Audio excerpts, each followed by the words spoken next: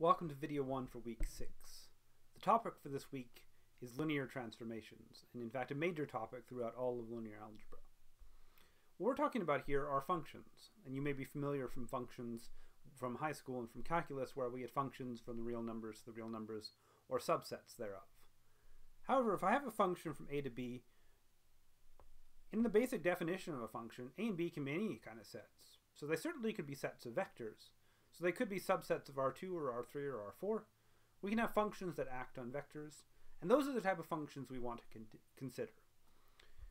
General multivariable functions, functions that act on vectors, are pretty complicated, and advanced calculus, multivariable calculus, goes into their properties.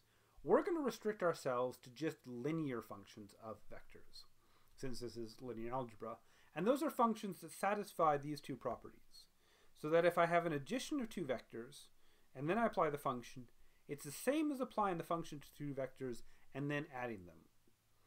Likewise, if I have a scalar multiple of a vector, and then I apply the function, it's the same as doing the function first and then applying the scalar multiple. And these are the two fundamental algebraic descriptions of linearity. So what we're doing here is we're really preserving the algebra. Linearity, linear spaces, Euclidean spaces, they're defined by the fact that we can add things, we can do scalar multiples. That's the, the whole idea of vectors we built up from the start of the course. Vectors are things that have addition and scalar multiplication. Linear functions are functions that work well with that structure. They preserve the addition, that's what we call this. We say they preserve the addition and they preserve the scalar multiplication. That's the algebra. What does that mean geometrically? Well, it means they're actually going to preserve linear subspaces because linear subspaces are built with these two operations.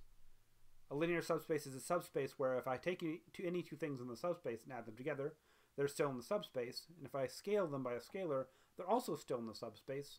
Well, what this algebra then is going to say is that a linear subspace gets sent to another linear subspace. And linear subspaces are flat things. So these linear functions are going to preserve flat things. That if I act on a plane, I'm going to get something that's still flat, a plane, a line. It might be smaller dimension, but it's still going to be flat. This flatness is sort of a, a major theme of this whole course. Things that are described by linear structures are lines, are planes, are three spaces, are flat kind of things. Also, because of the scalar, if a is equal to 0, this tells me that f of 0 is 0. The 0 matrix, the 0 vector goes to the 0 vector. So these functions also preserve the origin. This is why they say they preserve linear subspaces, because linear subspaces include the origin. There's also a, a class of other transformations called affine tra transformations. Um, they also preserve flat things, but they can in fact move the origin. So we talk about affine subspaces as subspaces that are flat, are lines and planes and the like, but don't necessarily go through the origin. We're not going to spend a lot of time talking about affine transformations. I thought I would mention them, but we're going to focus most of our energy on linear transformations. We can compose these things. One of the most important things we can do with functions is composition. So let me think of linear transformations. We've got one linear transformation f that goes from dimension n to dimension m, and another transformation g that goes from dimension m to dimension l. We can compose these if these two dimensions match up. And we do it in this order. We do f first, it goes from Rn to Rm, and then we do g, because g starts in Rm and then goes to RL. So when we're doing composition, we have to worry about the dimensions adding up. Other than that, composition works exactly like it did before. We do one thing, we do another thing, inside and outside functions, all of the rules we had before for composition. One last thing I want to say in this video is the theme of symmetry. So I've been using the word preserve. Preserves the algebra, preserves the origin, preserves flat things. These are all kinds of things that are preserved by these new transformations I've defined. The notion of symmetry in mathematics, at least in university and advanced mathematics, is really about what is preserved by an operation or a transformation.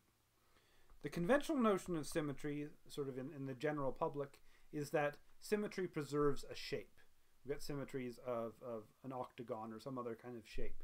And that's certainly a thing that you can do in mathematics. You can have symmetries that preserve a shape. But we're going to use the term in this course and elsewhere in mathematics to preserve all sorts of things. We say that linear transformations are a type of symmetry transformation because they preserve the origin, they preserve flat things, they preserve the algebraic rules. And that's the, the theme of symmetry I want to develop in this course is that symmetry is the kind of preservation of some kind of structure. And it can be much, much more broad a kind of structure than just preserving a shape in the conventional notion of symmetry. And we'll return to this in later videos when we talk about other symmetries, other things that are preserved by particular classes of linear transformation.